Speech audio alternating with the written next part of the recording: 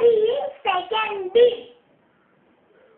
I am studying in SBOS school. I am telling